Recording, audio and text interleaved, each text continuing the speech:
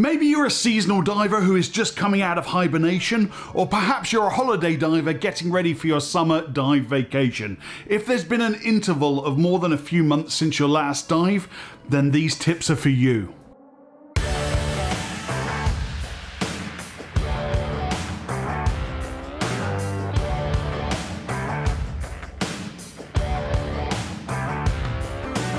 Ladies and gentlemen, welcome to Divers Ready. My name's James. As always, so great to see all of your smiling faces.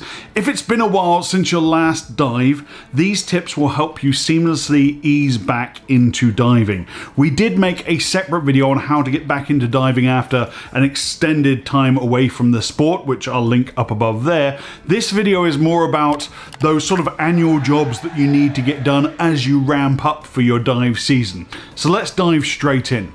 First off, gear service. I service all of my regulators and BCDs every year because I put a lot of dives on them. Most manufacturers recommend at least a bench test every year and then a full service every two years, regardless of your dive count. But typically, I'll just block three to four days on my calendar and service all the gear I've got. Just go to town. I make a festival out of gear service. I order my parts kits in advance, order up a pizza, crank up the music in the dive locker.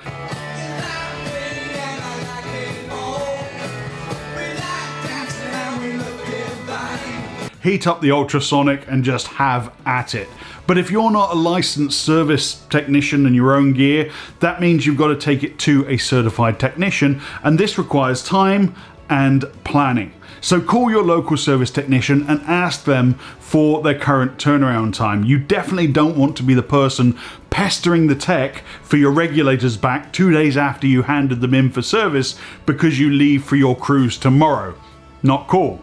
Inspect your basics. These are the commonly overlooked items that can ruin the first dives of your season if not properly attended to.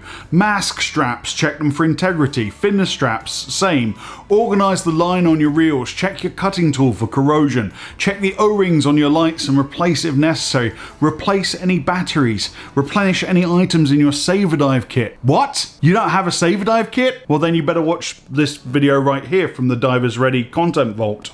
Test new gear. Was Santa good to you? Do you have an awesome new wetsuit or a shiny new BCD that you can't wait to get wet? Well, don't wait. Take your newly serviced gear and any new purchases that you've made to your local dive shop's pool and take them for a test dive. Check for fit, make sure you're comfortable with the functionality of everything. You don't want to be finding out how to use your new dive gear in ripping current in Cozumel on your vacation or somewhere. And if you have recently purchased a new dive computer, I have a message for you from dive masters and instructors the world over. Please, for the love of mercy, RTFM. RTFM, people. RTFM. And if you don't know what that means, then you definitely need to RTFM. The dive boat I was on yesterday, guy shows up, late of course, gets a brand new dive computer out of his bag that he got for Christmas a month ago, and then asks his dive guide how to program his nitrox. Classic! Absolutely infuriating. RTFM. Next up, plan your dives.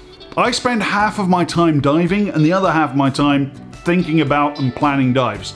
So if you're a seasonal diver, use your off season to plan the dives you want to do and the trips you want to take. Like for example the Philippines with Matthias and I.